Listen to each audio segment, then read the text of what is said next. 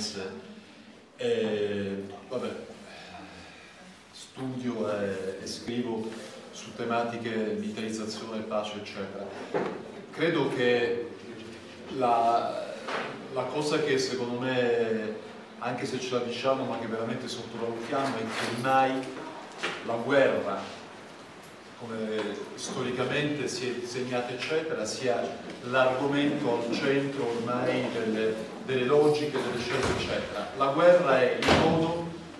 che ha in parte generato la crisi economica e strutturale ed è il modello con cui teoricamente il capitale transnazionale vorrebbe o proporrebbe di uscire dalla crisi. Credo che mai come negli ultimi mesi la concezione stessa che, le, che i conflitti internazionali, le crisi internazionali debbano essere superate sia un argomento ormai totalmente come, eh, legittimato. Avete visto che anche rispetto alla questione della crisi eh, in Crimea, della crisi ucraina, immediatamente e tranquillamente Unione Europea e Alleanza Atlantica, qui sinceramente nonostante i membri della Nato e i membri dell'Unione Europea non coincidano, e nonostante i trattati internazionali costitutivi della Nato e dell'Unione Europea non ci abbiano niente a che spartire, però poi di fatto eh, direi che non è quasi impossibile capire quando finisce una e quando finisce l'altra, la logica della risposta bellica, di inventarsi anche l'articolo 3 della Nato, che non dice assolutamente che nel momento in cui un paese distante, che non è neanche membro della Nato,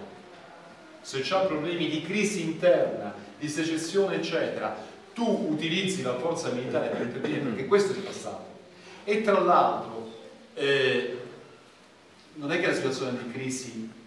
si è modificata, io vi invito a leggere quotidianamente la rassegna stampa che fanno le forze armate statunitensi attraverso il loro sito che è www.stripes che secondo me, lo dico con tutta sincerità, lo dico da antimilitarista e non violento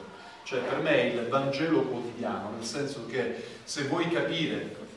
quello che succederà nei prossimi mesi, nei prossimi anni, lo devi leggere quotidianamente perché è veramente la Bibbia del, del pensiero di guerra.